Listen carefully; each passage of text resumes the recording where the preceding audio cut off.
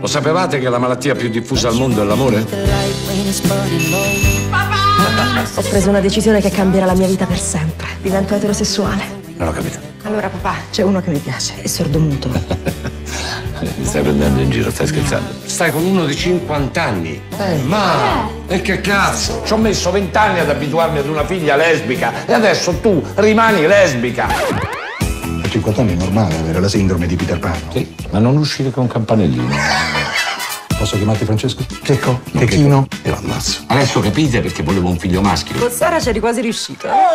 Il film è uscito mh, da poco, insomma, il weekend scorso è uscito ed è presente in 400 sale e fortunatamente, insomma, sorprendentemente sta facendo degli incassi molto molto alti, soprattutto per media copia in sala e quindi non so, non so quanto terrà, speriamo tanto, però insomma c'è questa sfida con Scorsese che è un film che veramente che sta andando benissimo, però insomma in realtà siamo secondi ma stiamo reggendo bene. Ecco. Ma poi chi te lo dice che gli uomini siano meglio delle donne? Oh, all'inizio è sempre meglio che sia l'uomo a condurre il gioco. Io ti aspetterò attaccata, attaccata, attaccata al citofono. No, un po' meno. E però te non fa tardi, eh? Una via di mezzo. Io vorrei tanto farti salire e dartela subito. Ma siccome il mio analista sostiene che voi siete quasi tutti stronzi, allora preferirei aspettare e magari dartela la prossima volta se per te non è un problema.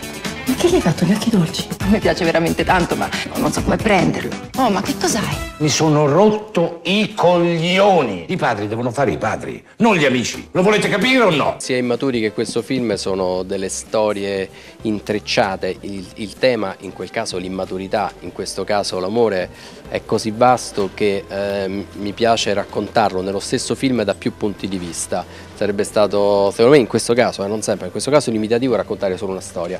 Invece in realtà tre storie eh, riescono da tre punti di vista completamente diversi a raccontare la differenza in amore e quindi mi piaceva molto eh, l'idea di un film corale. Com'è nata l'idea di questo film?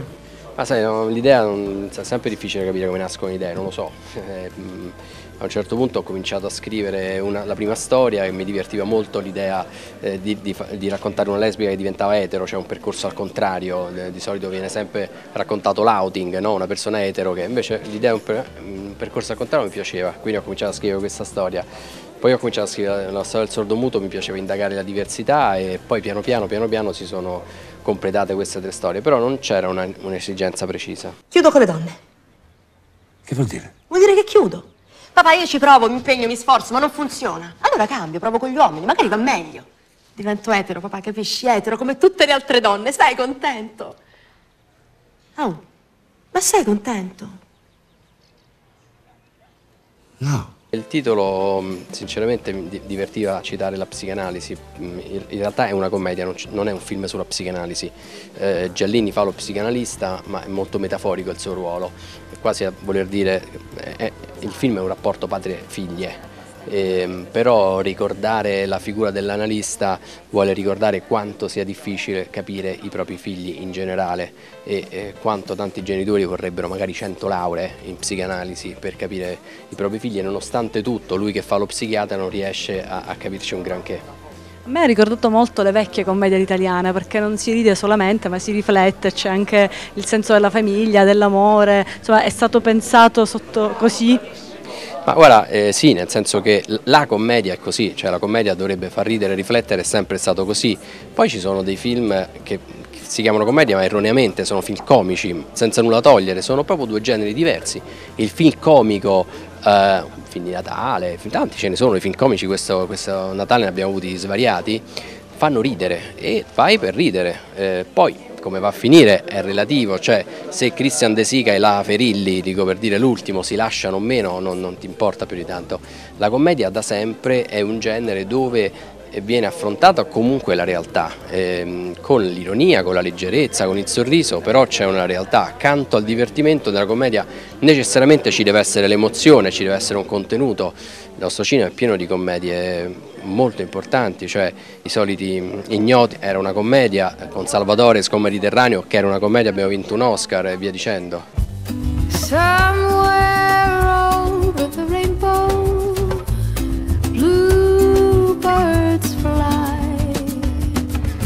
Sigmund. Dov'è che ho sbagliato? Dimmelo tu, eh? Eh, Per me fare il malvivente o comunque il poliziotto duro, quello che ho fatto, che ne so, dico ACAB, eh, romanzo, Loredana, no, insomma ha fatto svariati banditi. È un po' più semplice, ma non perché io sia un bandito, perché insomma, sai, se vivi in una realtà fino a una certa età così, assorbi, vedi, fai pure. E allora mh, conosci bene quel mondo. Diciamo che il mondo della psicanalisi è un mondo che mi era un, un tantino più lontano, ecco. Però poi faccio l'attore e allora ho visto un po' di cose, ma sai, poi ho studiato dizione, no? quando ero ragazzo, ho, mh, anche se non si sente, però allora ho cercato di mettere in pratica tutto, cercare di essere un po' più forbito, un po' più nei movimenti, camminavo un po' a papera qui, io non cammino, io cammino anche, anzi un po' con i piedi dentro addirittura, perché giocavo a calcio. Eh, allora camminando un po' così, invece lì cammino proprio così, alle 10 e 10, poi cammino quando corro, visto come faccio, in realtà sono un po' meno goffo. Emma è una ragazza di 18 anni, sta per fare la maturità, intraprende una storia con un uomo di 50 anni. Interpreto Alessandro, è un architetto ed è sposato. Lui lavora in un grandissimo negozio di arredamento, decidono insieme di sfruttare questo luogo di notte per avere i loro incontri amorosi. E io mi innamoro, anche se abbastanza platonicamente, de- della moglie.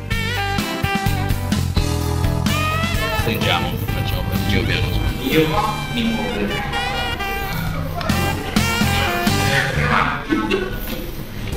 Io sono Claudia e la vediamo attraverso gli occhi del protagonista che la vede tutti i giorni, esce dal bar, fa colazione quasi sempre allo stesso tavolino, la vede passare con il cane, quasi un amore a distanza. C'è della polemica, eh?